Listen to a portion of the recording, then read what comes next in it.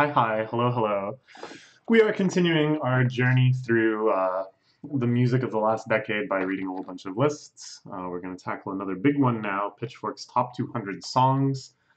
Most of the lists we've been looking at are 100 entries or less, but Pitchfork goes all out with the 200, and good on them to do so. I'm I'm hoping to do a, a best songs list of my my own. It's it's really difficult to put together. When I've done them for years in the past, I've had a rule where like none of the albums I'm putting on the best albums list will have songs on the best songs list, just to kind of encourage diversity and to kind of make me think about like, okay, well, what which of these projects that I enjoy as albums that I go to and listen to all the way through most of the time, and which ones that I like go after certain singles, certain songs that really uh, I gravitated towards. But I don't know, it's like an imperfect methodology. Like, I think in the end, it's like you got to remember that these lists are supposed to just be like a, a, cool way to convey your musical tastes and to make recommendations and such. It, it doesn't actually have to be accurate to your taste so much as it is a good expression of your taste. And I think uh, Pitchfork quite understands this. Um, and usually their song lists, it's like, uh, as I said, it's kind of focusing more on how did they stand out as songs versus how are they part of like a larger album experience. So that their best songs list very rarely are just, well, here's our favorite cuts from all the albums that we put. Um, like there's always going to be a bit of that. You know, there's songs that form the centerpieces of albums you really enjoy and deserve to be recognized as quality songs on their own. But Pitchfork is, is much more tapped into kind of the, the culture around songs, which is very different than the culture around albums. So what I'm looking for here is a lot more like kind of like poppy things, things that were big hit singles but didn't necessarily lead to a cohesive album. I'm looking for like Migos songs, you know, that had such a huge impact, even if none of their full length projects uh, really reflected that level of consistent quality. Same with like other rappers. I'd like to see a few Young Thug entries on here. Um, like some Drake songs, they, they mentioned Drake here. Um, like all of these people, of course, appeared on the album list as well. But Drake, I feel, is, is much more expressed by songs and singles than he is by full length projects. So, yeah, I don't know. Um, I'd like to see some more Kanye stuff, Ultralight Beam, maybe Saint Pablo. Um, what, what's my call for number one? It could be Kendrick Lamar's Alright. That was number one of the year. I don't know. Um, yeah, this list is a little hard to read because it's not like they give scores to tracks. They do do track reviews. Um, I thought I, I, they do. I don't know where to get at it. And sometimes they'll give best new music to a track, best new track. Um, but then other times they'll just review tracks and not talk about uh, and not best new track. They used to give scores explicitly. Actually, here's a score I can remember. Um, uh, what would I want? Sky. They gave this a 10, this song. I don't know if that rating will still be here because they've kind of uh, they've stopped rating songs and, and it doesn't even like appear in like the song review template anymore. Maybe it just won't review at, uh, load at all. It's forbidden knowledge. Yeah, so at one point they gave this like a 10 uh, when it first came out, which I thought was kind of cool. I, I think the song is like a 10 if, if you're the type to, to rate individual songs, which to me is like, I don't know, kind of excessive almost. Um, I was gonna say, I wonder if this will be on the list, but it came out in 2009. Okay, anyways, let's just plunge into it. It's, as I said, it's gonna be a little harder to read because I don't have this like score base, and I don't typically remember their, their songs lit, oh my, levels! Okay, so it's gonna be stuff like this. I don't, I don't know if um, Pitchfork genuinely really likes this song or if they just kind of have to acknowledge how perfect it is in and of itself, you know? I mean, come on.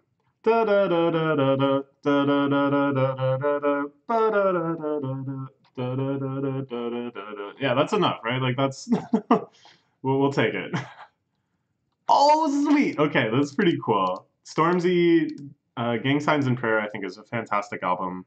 I wouldn't have been too shocked if it appeared on the top 200 albums list. I, I think it's definitely good enough to make it there. Um, I don't know, but at any rate, this I think is maybe my. Well, I don't know. I, I like a lot of songs on here, but this this song is so fantastic. There's like this this this this verse where I don't really want to quote the lyrics because if you don't say them in a, a, London accent, they sound super lame and, and way too lame in general just to even attempt it. But he's he it just sounds so like I don't know that he's just like yeah. Let's look at the lyrics quick. I'll point it out. Because there's kind of like a, a general flow to the song. The chorus is like very lyrically dense and stuff. And there's this uh, really kind of clubby type sample playing, really pitched up and stuff. And then this is kind of like, it's kind of like conversational rap, you know? This this sort of flow, I find. Um, but then, and then it, where, where is it? What, what does he say? Maybe it's in the second verse.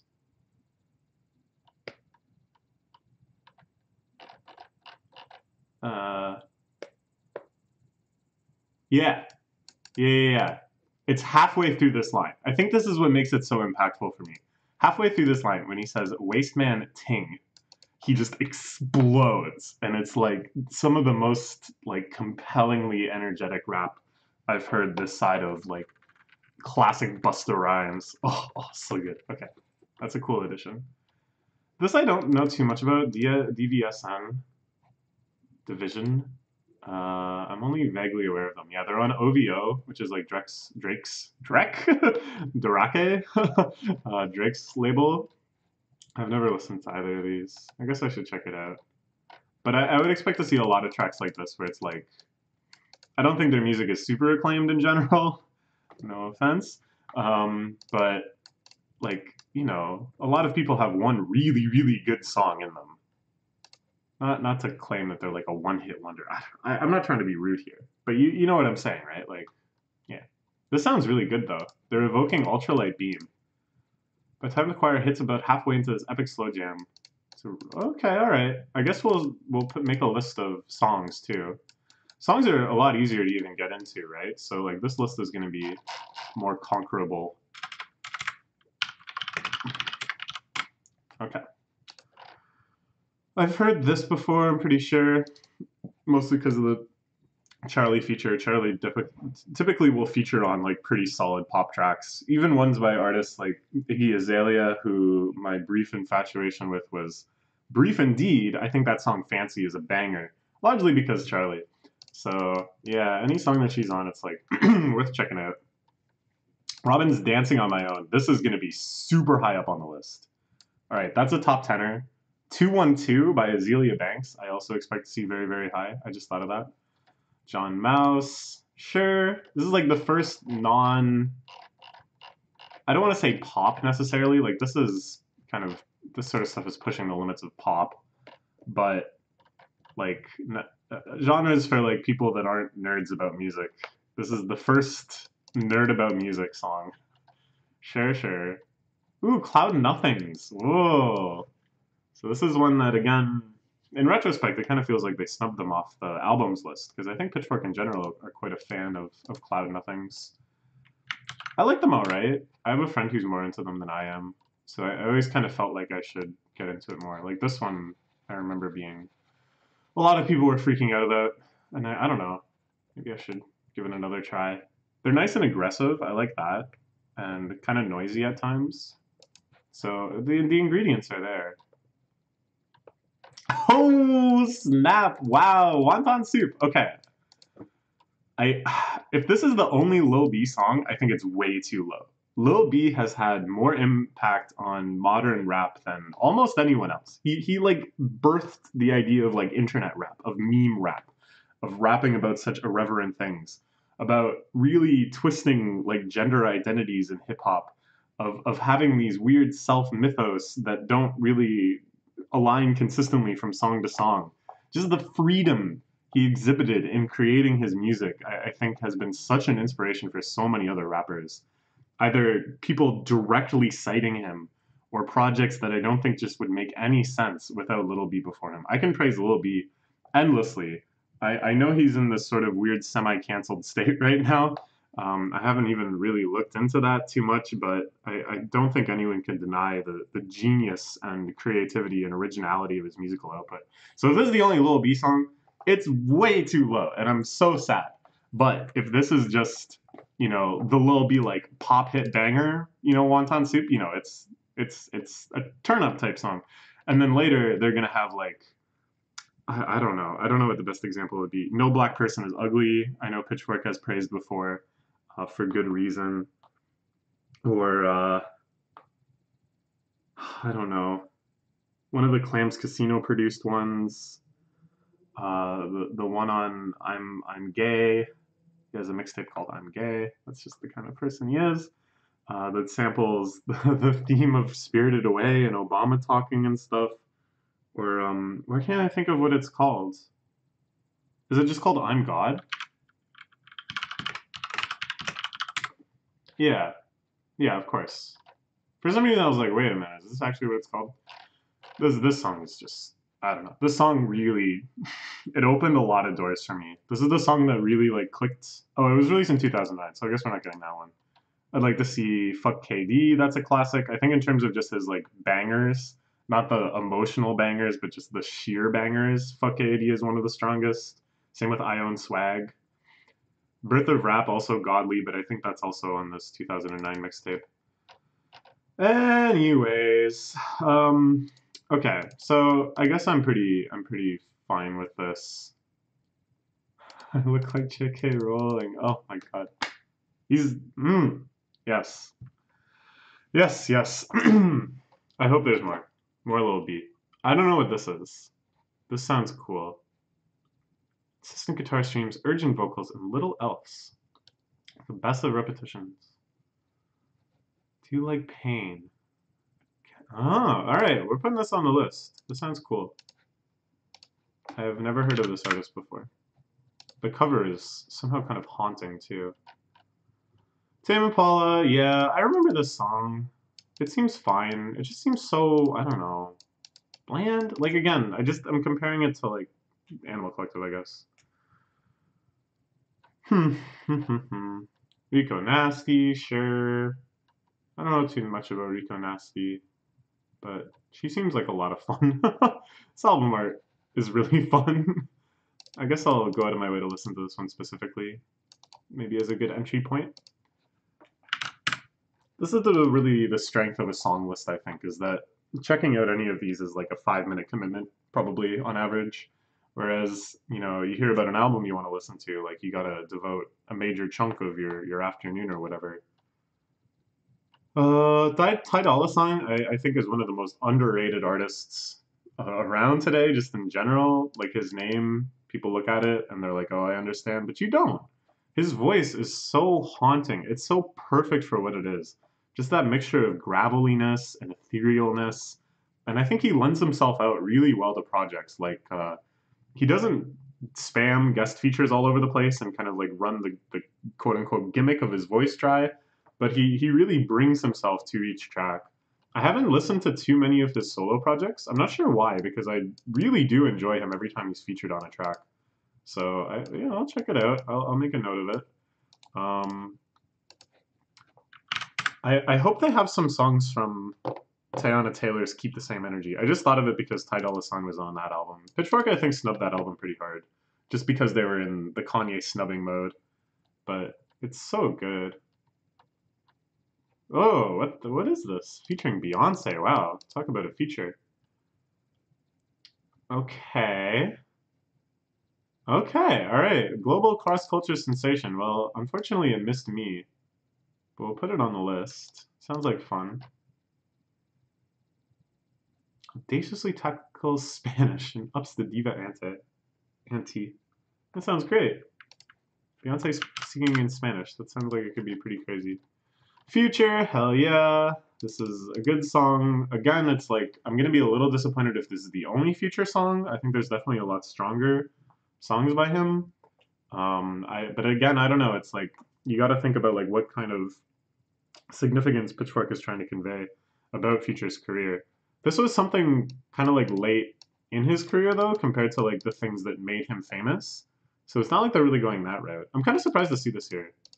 I would put Thought It Was a Drought maybe. That might be my favorite Future song. I don't know.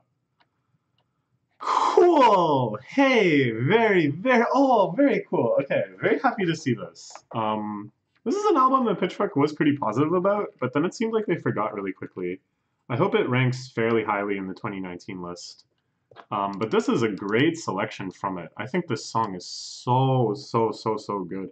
Um, right before it is an extremely strong song called The Twist uh, that is just like really engrossing. It has all these different like movements to it, and it's like seven minutes long, I think.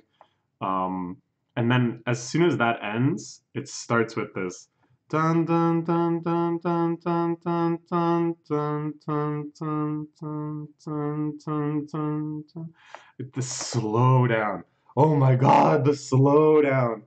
And and it, it feels like I don't know, the slowdown is just so powerful that they're hitting these chords and then they just slow down. Oh my god, just think about that. Who does that? Slowing it down. um, the lyrics feel like this just transcendental evolution of all the other sad Radiohead tracks we've saw, heard over the years. Every time Thom Yorke has sang about giving up, feeling defeated, um, it, feelings of alienation, feelings of disconnect, this just feels like some even further transcendence where like uh, the, the songs about death had at least some sort of sense of closure and finality and escape. But this one is the idea of the dawn chorus, the bloody racket of birds at sunrise waking you up again and again and again. And and some of the lyrics are like, if you could do it all again, big deal, so what? And it's this kind of feeling of futility that it's like, I've sung about the end so many times, but here I am still going, right? Even after my long-term partner has died. Whoo, oh boy, whoo, it's it's a heavy one. Oh man, yeah. I I just I don't know. the the calling it the bloody racket of the dawn chorus. The, there's a song by Boards of Canada that I absolutely adore that's also called Dawn Chorus and these two songs approach the same concept about as completely opposed as possible. It's it's amazing. Okay, cool. Skepta shut down. I think I remember this one. I like Skepta a lot. He's he's so cool. Just the way he raps is just so it's so cool. And then he collaborates with like everybody. And every time you're like, okay, how is this even gonna work? Because Skepta is so defined by this like grimy British grimy I'm, I'm not trying to say as an insult. Grime is the, the is the label that people use for a certain type of british hip-hop that skepta is a, a, very iconic example of. So he, he has this like real grimy it still sounds like i'm insulting him this real solid grime status that feels so incompatible with other rappers but then he's just so cool that like you hear him on any track and you're just like oh Hell yeah! I don't know. I don't know. It's really cool. I don't know what this this write up is talking about. Oh yeah, when when Kanye went up on the Brit Awards and he brought like all of these grime rappers, like Skepta was there and and Stormzy was there and probably some other grime rappers we'll see on this list. I don't know if Dave was there. I love Dave though, um, and A.G. Tracy and, and all these other grime heroes. Um, yeah, Kanye just brought them all up on stage and they did uh, every day right? No, all day, all day. How long you spend at the mall? All day. Oh, yeah. See, Grime Wave. They're not talking about Grimes, the musician, number one on Gorilla versus Bear Top albums. They're not talking about gross things. They're talking about grime. Yes. Sharon Van Etten, I believe we've seen a few times on album lists, right? Yeah. Uh, so I guess this is a track that's kind of like a standout. So I, I don't know. I think that's like a good way to go about it. I can listen to this first and see how I'm feeling and know that this is a good representation. That album cover is fantastic. Oh my gosh. A lockstep keyboard rock anthem that's artfully mussed with synth wobbles and. Hmm.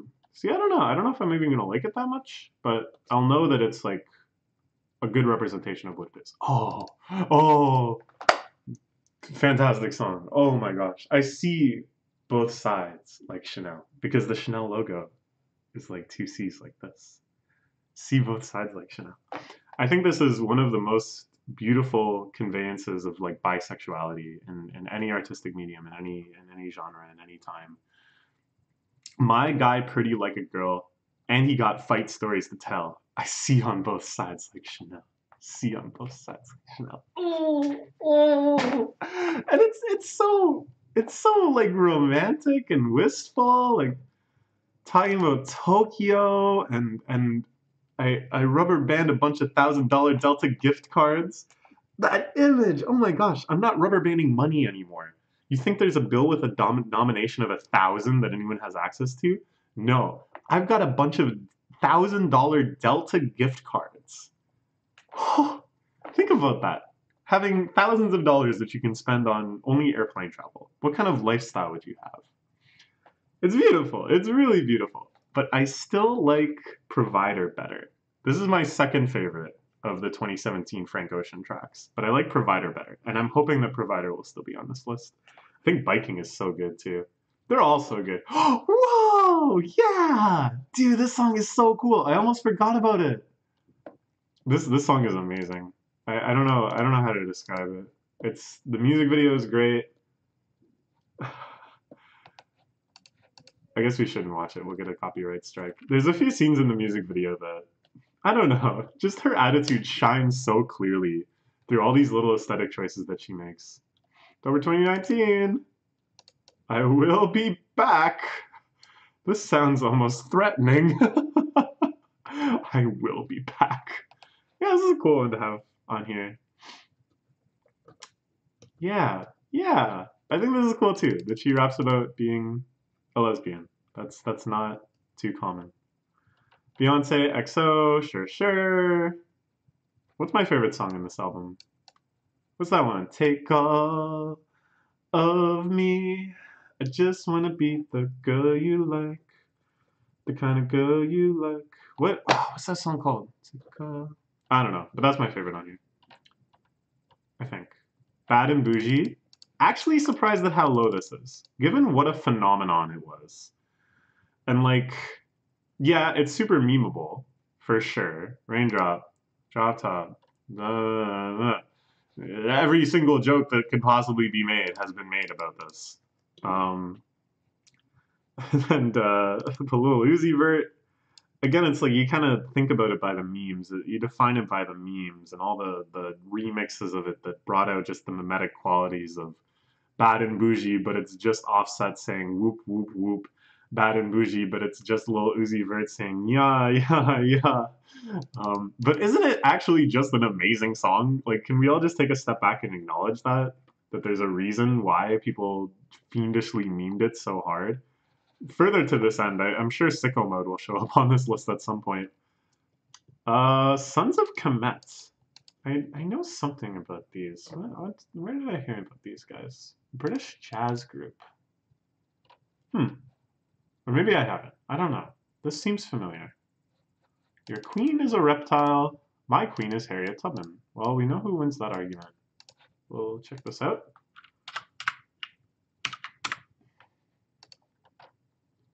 Yeah, I heard about that people are making their own Harriet Tubman 20s because they just aren't making them. Just so disappointing. Uh, when I first heard about it, I thought I heard about it because it was like a done deal that the Tubman 20s were coming. But no, I, what? So whatever. Harriet Tubman on the bill. I think I need two pills worth of them. What's that from? That's on the Kevin Gates Cut It remix, which is an amazing song that'll be the top the top ten of the Pitchfork list for sure. Rich Kids. I don't know if I've listened to this. This sounds awesome because it has Waka Flocka Flame on it. So we're putting it on the list. Um, I love Waka Flocka Flame. Ooh, produced by London on the Track. But back when London on the Track was ripping off Lex Luthor? Luger? What? Okay, cool, sure. Wait a minute. Oh, Lex Luger drove him off the map. Okay, I was like, London on the Track has been driven off the map. That's not true at all. Rapper's career is currently mired in reality TV purgatory. What? What is this? What what what am I looking at? Growing up hip hop Atlanta. Well, I wouldn't call this reality TV necessarily. Doesn't this seem like it's more like a documentary or something? Reality TV, I thought he was going to be on like Celebrity Apprentice or something. That's going to be very sad, but oh, I don't know. Okay. 1975, sure. I feel like we're not going to see the last of them yet. Definitely Love It If We Made It is going to be quite high on this list, which I understand. It's, it's a pretty cool song. Cool is like the opening track. I think I already talked about this in the album list, but there's a moment in this opening track where where Q-Tip kind of like extends a little further. He kind of extends and bends in this way that only he can do. Deeply satisfying to hear the group strike as strongly as af- ever after 18 years of downtime. Indeed, exactly. Not that I was listening to a Tribe Called Quest in the early 90s. I was a baby in the early 90s. But when I when you know I have a long history with them, regardless, getting into them as a teenager. Yeah. Oh, really nice. Okay. Oh, ooh, I love this song. I love Sampha. I love this album so much. I I think this song is like definitely one of the most beautiful things he's ever composed, and and really one of the most beautiful things I've ever heard. Period. Hearing him play it live, like it's very very difficult not to just burst into tears. Um, yeah, look look at this story. Oh my god, his mother had died of cancer. No one knows me like the piano in my mother's home is the completion of the lyric. Oh, my god, just just I don't know. I don't know. I don't know. It's really really nice. At the same time, it's just like a piano ballad. And I feel like Sampha's talents are so far beyond that. That's just like one little slice of what he can do but other songs like 100 Degrees Plastic, to me, are like even stronger. So I'd like to see those on this list too, but who knows? Nicki Minaj, Come on a Cone. the back to back of these two. uh, it's uh, it's jarring to say the least. but yeah, it's this is a sweet song. It's totally true. Um, one of her best just performances in terms of like pure lyrical dominance and stuff. Uh, up there with her monster verse, which is of course like the the holy grail of Nicki Minaj just completely rapping her mind out, rapping out of her mind. I guess also wrapping her mind out. I don't know what's up, but yeah, uh, she still does really good verses sometimes. She did a verse on uh, a 2 Chainz song that I thought was fantastic called "Realize." She did a verse on uh, a Playboi Carti song, Poke It Out, that I thought was really good. So she still tries super hard at some points, but it's not the same kind of like, I'm just to hit you with everything. It's a more kind of like measured. Yeah. Florence and the Machine, Shake It Out. Sure. Oh, well, that sounds nice. Let's look at these comments. Yeah. Oh yeah. Yeah. Wow. Yeah. Yeah, yeah. All right, this is great. This is so great. Uh, I'm glad they directed me to go look at these. Me feel at least a little hopeful. I really like, I don't know, I've never been super into Florence and the Machine, but I do like I Got the Love. Which I don't, I think came out in like before 2010. Yeah, 2009. And then there's this one, and then there's You Got the Love. Dizzee Rascals version. And this this one, like I don't know, it feels so basic. It feels so like yeah, there's no other word but basic. But god damn, this is such a powerful performance. Oh my god, they just go so hard. I love it. It's it's truly a legendary performance. Check it out. Anyways, uh, I don't really remember this particular song all that well though, so I'm, I'm gonna I'm gonna check it out too. DJ Khaled, I'm on one. Yeah, yeah, yeah, yeah. yeah, exactly. DJ Khaled doesn't really do anything. He just does the ad libs and he makes everybody show up. That's fine. Ooh, some sleep. The Marijuana theme. Sure. Uh, I, I kind of like this album. I sort of got into it. I, I kind of like stoner metal occasionally. Um, I like uh, Electric Wizard a lot. They have this song, uh, Witch Cult Tonight or something. That doesn't sound right. Electric Wizard, Witch Cult Today. Witch Cult Today. This song I think is fantastic. And it's almost like this completely satiates me for stoner metal, so I only just listen to this. Um, but yeah, Sleep is another like legendary doom stoner metal thing. We could have had it all, rolling in the deep. I think the song is like 500 times better than Hello, which never appealed to me. Um, but I think uh, I set fire to the rain. What's that song called? Set fire to the rain. I think that one's even better. Oh well. Peep, cool. Yeah. I think Lil Peep was on the uh, albums list too, right? Which is awesome. I mean, not that little Peep knows about it, but yeah, that's cool. St. Vincent, sure. This is on Mass Education. So again, it's kind of cool that they can give shout outs to like other albums that didn't make the uh, album list. 38% like this album, really? What? Who's going out of their way to Google Mass Education and be like, yeah, this one, I hated it. Like, what? King Krule, Dum Surfer, this is on from the OOZ, I'm pretty sure. Uh, oh. Oh, interesting. This sounds good. I don't know too much about Tinashe. I don't even know how to pronounce it. And this doesn't help me, because I can never remember what these symbols mean. I wish I could memorize it, but I, I have no idea what these symbols mean. um, yeah, I should listen to her more. Uh, all the things I've heard from her were like fun and catchy, so we'll put this on the list. And I like Schoolboy Q a lot. I hope like uh, Collard Greens or something makes this list later. Or uh, oh Eddie Kane, yeah. What's that song? Blank Face, Eddie Kane. Oh, that song's so good. We'll put this on the list because I really hadn't heard of Bad Bunny very much at all when I saw the album list uh, entry. So this is a good entry point. Defining moment for Bad Bunny. So there we go. Jessica Pratt, I think we saw on the album list. Yes. Looks like it was pretty near the top, too. So again, I think this will make a good entry point. Strums of a nylon string guitar cycles through the song's bobbing refrains and wordless choruses, their voice sewn through with an intensity that belies its understated presentation. Yeah? Andrés New For You.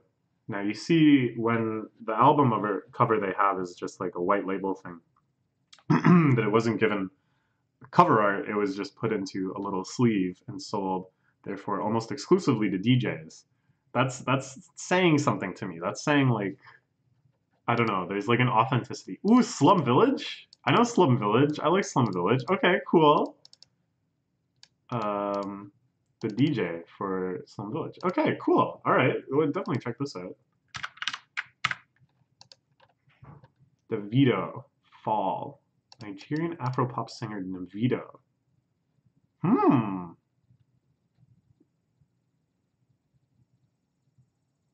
Interesting. Okay, cool. I really like this album cover too. It feels so almost vaporwavy. It's like the vaporwave they would make for the generation that we're in right now. you know, future vaporwave. Okay, cool. Uh, yeah, definitely the most maximalist song on the album in general. A lot of fun. What about mixtapes though? Is Lil Yachty gonna make any of these lists? Is Lil Yachty ever gonna be acknowledged by Pitchfork again? Maybe not. But I mean, this is a pretty solid choice. It's it's so catchy. It's so fun. 2 Chainz like raps his heart out you know that 2 Chainz every single time he's on a track with uh, Lil Wayne, he's just like, "Yes, yes, we made it!" And then he tries super hard, and it's amazing. Uh, and Lil Wayne does a great verse too. The music video is great. Yeah, a lot to like about this one. And it's kind of cool again. They put acid rap on the list for albums, but then they, they bring out a sample or a single from Coloring Book. So it's a nice diversification. Ooh, Popcaan. I like Popcaan. I don't know who Gaza Slim is or unpronounceable. Um, Popcaan alone, I'll put this on the list. Yeah, yeah, all right. Odd future oldie, so Russian nesting doll.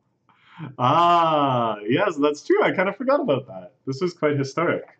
So oldie has like every odd future member, including all the ones you've never heard of, rapping over like an eight minute song. It's even got Frank Ocean on there, which is crazy because Frank Ocean, even when he was like most odd futurists and was like actually collaborating with them, he wouldn't show up on something like this, you know? Like he wouldn't show up in a way that put him with all the other odd future people. It would just be like a track here and there with the internet or with Tyler or whatever. Anyways, uh, yeah, so this was the first time, even Frank, yeah, they, they know what's up that Earl had appeared in any sort of musical capacity since his mom made him go to a boarding school in Samoa, uh, thinking that his musical career was turning him into, I don't know. I mean, he's been through some real major ups and downs since then, um, not necessarily because of his musical career, but perhaps exacerbated by it by many ways. So this whole free Earl thing, given years and years now to look back in retrospect, I don't know. The point is, though, yes, Earl is a generational talent. Absolutely true. yeah, I'm guilty of that. I, I listened to the Frank verse too and the Tyler verse. It's it's yeah, it definitely deserves its spot here. wait, wait, wait, wait, wait. I got a little confused for a second because I like Katy B and I like the uh, album that's called On a Mission. And there's a song on it I really particularly like called Witch's Brew. And the reason I like that is for an extremely ridiculous reason, which is they made a really cool ITG chart for it. Uh, which I thought would be easy to find. Here we go. Goodness, it's so hard. Look, look, that's all you need to see. 200, 256 beats per minute and then we're doing 16th notes. So every beat is four steps. So that's like over uh, a thousand beats per minute, which means it's a thousand times 60 steps per second, or steps per minute and steps per second. Anyways, we don't need to get into all of that, but I, I really like that song. So at first, I for a second I was like, "Oh, is that the one I really like?" But no. Um, I guess I should check this one out too. Because to me, the rest of the album was like solid enough, but I was really just obsessed with Witch's Brew. But this one is worth uh, checking out again. I'm glad to see her on here, Katy B. One of the more underrated like poppy pop pop people. I think she had some really cool ideas for songs. Uh, a different kind of aggressiveness in her beats and stuff. Hard in the Paint fantastic, an all-time classic. Where do you even start with talking about this song? Of course, it's hard in the MS Paint. uh, Cause it's paint. It's I go hard in the paint. it's like quite a few people have done this. This is the one that I know about. It's so stupid. They play it on YouTube, this like super sketchy upload, and then it's just moving the mouse. Ah, ridiculous. Okay, anyways. Yeah, I love this song. Not even my favorite song on Flockaveli, though. I think I like uh, Karma best. I think Karma is just absolutely nuts. Yeah, when my little brother. Okay, so it, you should listen to the clean version of this. The, this song has one of the most hilarious clean versions I've ever seen. But my my favorite is absolutely when my little brother died. I said school. uh, and and I'm the head of the motherfucking state. That's a good one too.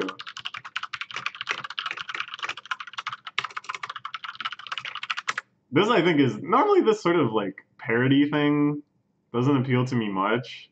But this is just so well done. The guy actually sounds like Obama. Baracka Flacka Flame. Oh, lots of really, really good memories associated with this.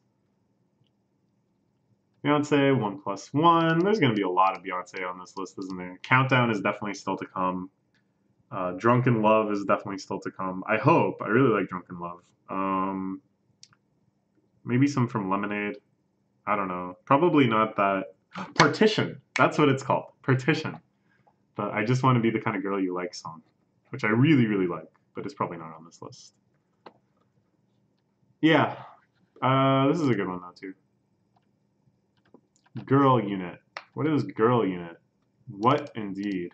What to me makes me think of the Le1f song, What? Which is really good too. Ooh, Jesus is coming. Um, we'll put this on the list. Well-timed use of air horn. Yeah, that alone. I'm sold. I am so sold. Kanye's Blood on the Leaves. Awesome. I sincerely hope this is not the end of our Kanye experience with this list. I really doubt it will be, but yeah, holy, an amazing, amazing, amazing, amazing, amazing song. Holy crap. Uh, uh, uh. Yeah. Oh my god, yeah. Oh my god. The horns. The horns. Japanese breakfast. We talked about in the album list, I think. Or did we talk about Japandroids? See, I keep mixing them up. I don't know, this sounds nice.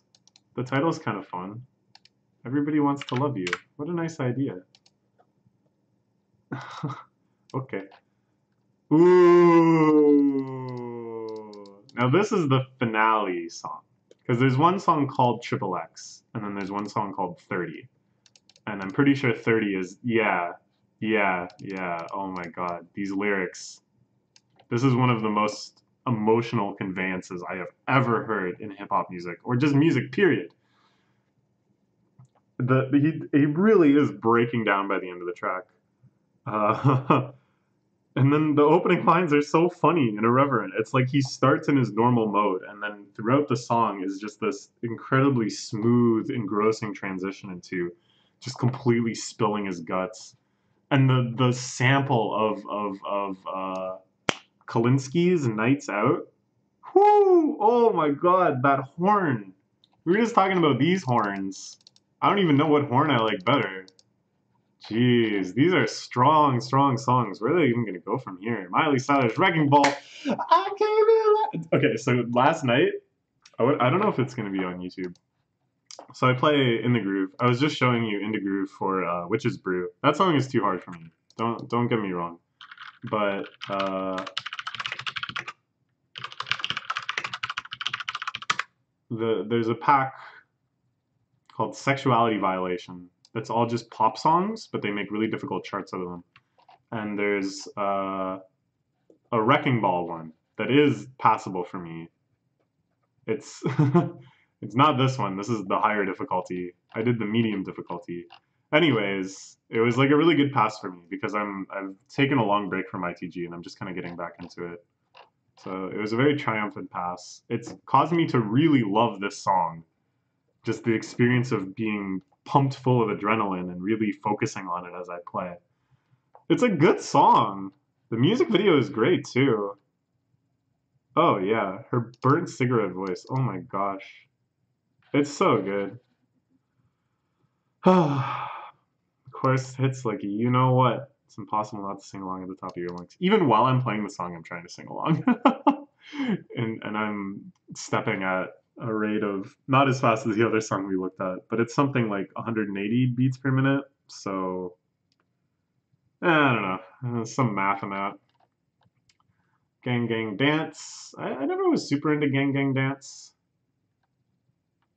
11 and a half minute. Ooh. All right, well, we'll put it on the list because I don't distinctly recall listening to this song. Are they around anymore, Gang Gang Dance? I feel like I haven't heard about them in a long time.